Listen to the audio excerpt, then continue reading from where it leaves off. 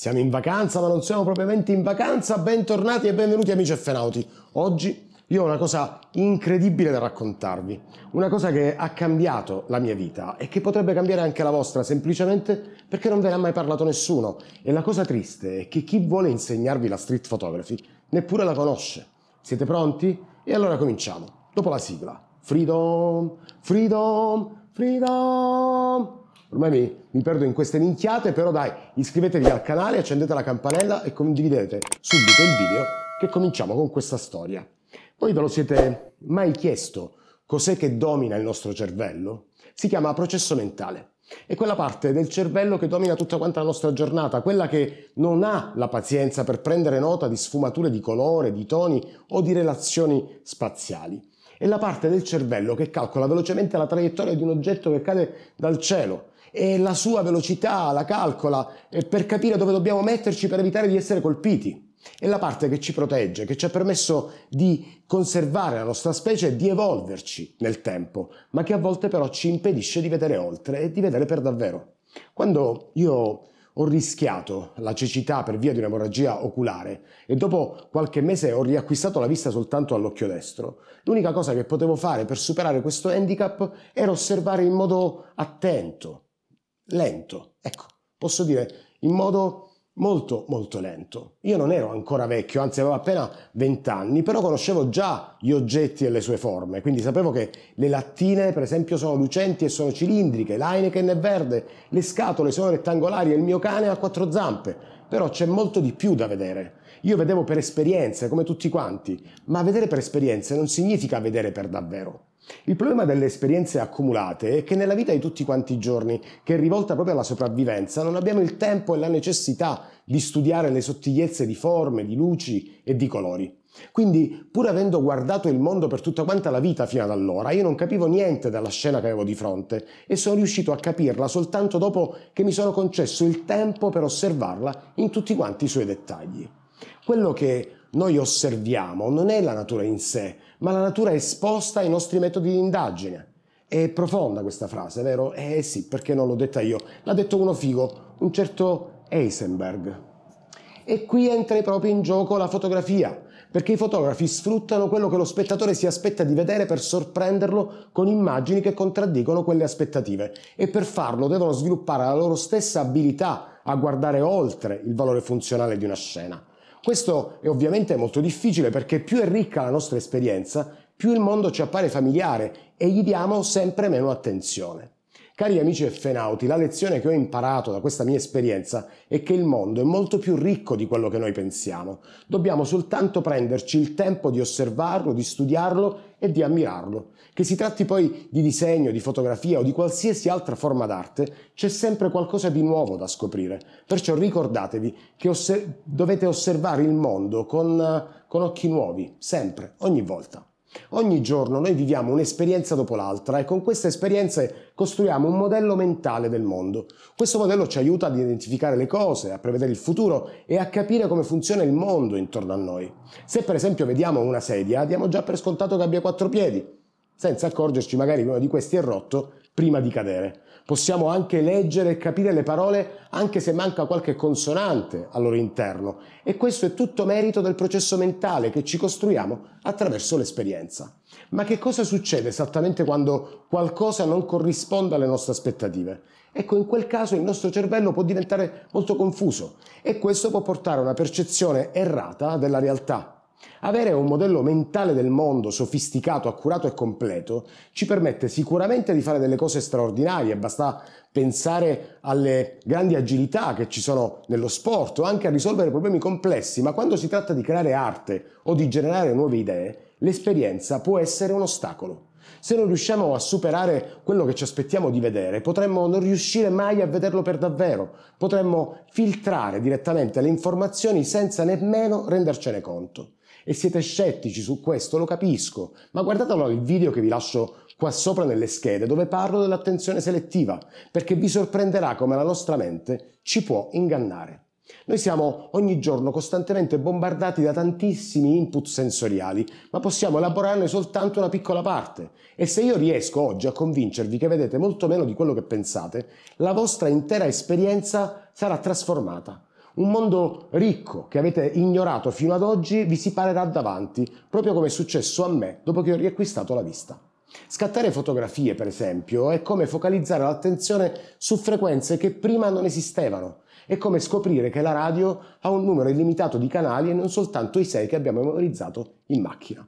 Ecco, quello che vedete con i vostri occhi è un'immagine composta da due immagini combinate per darvi un campo visivo di circa 180 gradi. Non è ampio come quello di un pesce, però è sufficiente per vedere le tigri nascoste nei cespugli e per percepire il movimento nella nostra visione periferica. Fissate per esempio la X in mezzo alle lettere che vi scrivo qui sotto. Senza muovere gli occhi, quante lettere potete leggere con sicurezza?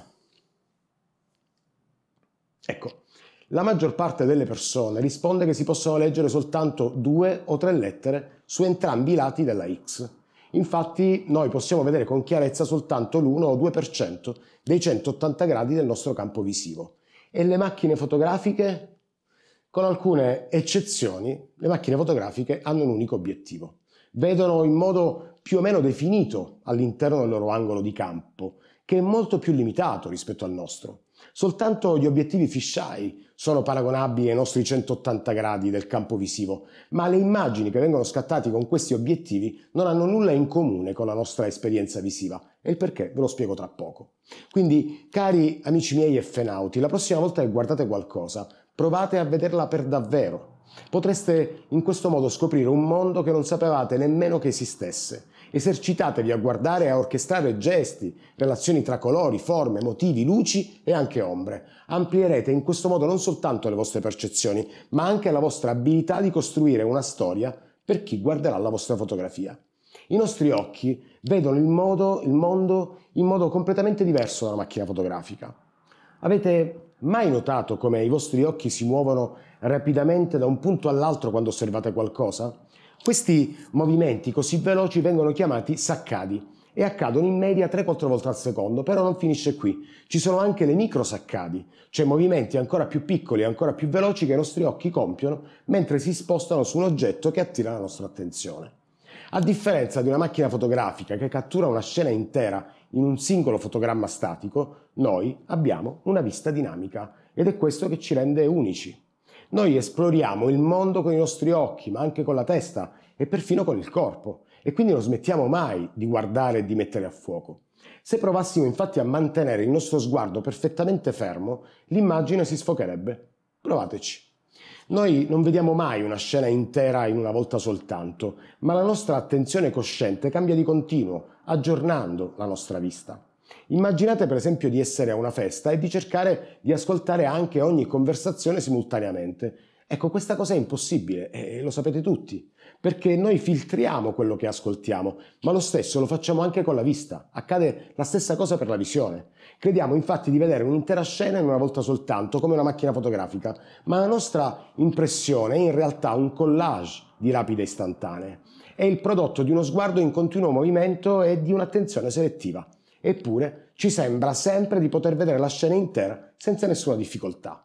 I neurologi hanno dimostrato in questo campo che per poter vedere veramente qualcosa dobbiamo sopprimere tutto il resto, perché abbiamo una visione limitata, ma noi non ci rendiamo conto di quello che stiamo perdendo.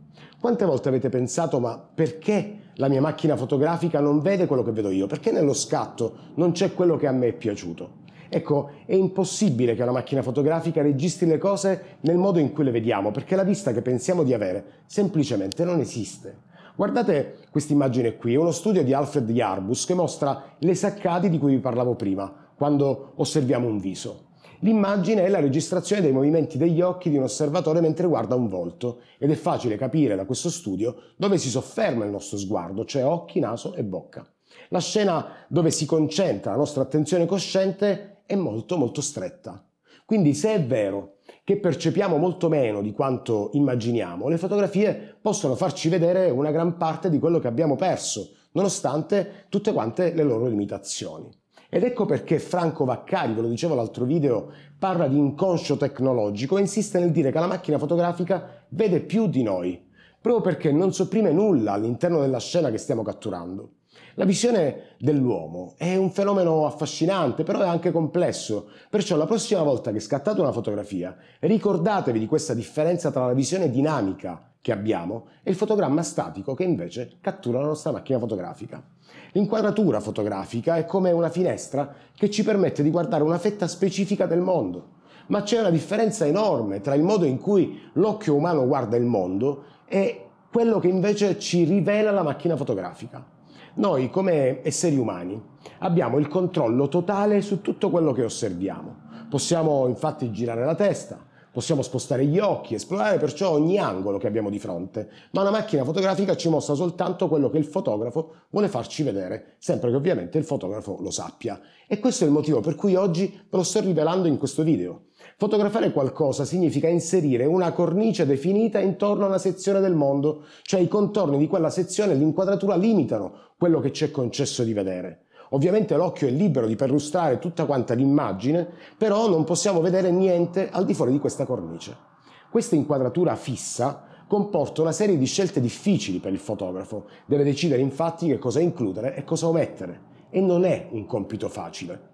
E in più il fotografo ha anche un'altra grande difficoltà da superare, e cioè deve comporre in modo efficace forme tridimensionali all'interno di un'immagine che è piatta. Questo non è facile perché il nostro modo di vedere non contempla un'inquadratura definita, è una capacità che può essere acquisita soltanto dopo un po' di studio e tanta tanta pratica. Ecco perché vi consiglio di iniziare a prenderci proprio confidenza, il motivo per cui ve ne parlo. Sono tutte queste le cose che dovete conoscere per diventare dei bravi street photographer, non la minchiata sullo stile o sugli slider di chiarezza e contrasto o ancora peggio sulla regola dei terzi. Le fotografie ci piacciono in parte per quello che non ci fanno vedere, perché semplificano il mondo e ci permettono di sperimentare una fetta più gestibile di vita. L'inquadratura può essere paragonata a una sorta di riflettore della nostra attenzione cosciente che si concentra proprio su un certo tema o un oggetto all'interno di un flusso infinito di input visivi, come a teatro. Le fotografie sono la riproduzione bidimensionale di un mondo che invece è tridimensionale, quindi appiattiscono la prospettiva e spostano perciò l'attenzione sulle relazioni spaziali tra gli oggetti ripresi. Mentre la nostra attenzione consapevole tende a renderci ciechi verso tutto quello ci, su cui non ci stiamo concentrando, le fotografie invece immobilizzano il mondo caotico e ci invitano a fare paragoni, a desumere relazioni tra gli elementi presenti all'interno dell'inquadratura. L'inquadratura fotografica è un'arte, ma è anche una scienza. È un modo per raccontare una storia, per catturare un momento e per condividere una visione, la vostra visione. La prossima volta perciò che scattate una fotografia o che la guardate soltanto, pensate a tutte quante le scelte e le considerazioni che ci sono dietro e ricordatevi che ogni inquadratura è una finestra su un mondo che soltanto voi potete mostrare. Guardate questa immagine che vi lascio adesso, l'ho scattata apposta per ingannarvi. È in disaccordo infatti con il nostro modello mentale di come dovrebbe sembrare il mondo. L'ho pensata apposta per farvi pensare a qualcosa a prima vista, invogliarvi a guardarla meglio e poi boom! Sorprendervi, perché questa immagine suscita un moto di sorpresa quando il vero punto di osservazione viene rivelato. E anche dopo aver capito che si tratta di un, tu- un, trucco fotografico, rimane comunque impossibile non rivivere quel momento di sorpresa ogni volta che la si riguarda. Vi sembrerà che questa immagine io l'abbia scattata dall'alto verso il basso, ma è esattamente il contrario, perché ho tolto dall'inquadratura ogni riferimento. Questo è il potere della fotografia. La fotografia può giocare con la nostra percezione, può sfidare le nostre aspettative e regalarci momenti di pura sorpresa e di meraviglia. È un'arte che va oltre la semplice cattura di un'immagine. È un modo per raccontare storie, creare emozioni e perfino ingannare i nostri occhi. Perciò la prossima volta che vedete una fotografia che sembra strana o impossibile, prendetevi un momento per esaminarla più da vicino, potreste scoprire che c'è molto di più di quello che appare a prima vista e chissà potreste anche sentirvi ispirati per creare le vostre immagini successive. E detto questo vi saluto e vi auguro buone vacanze. Ciao!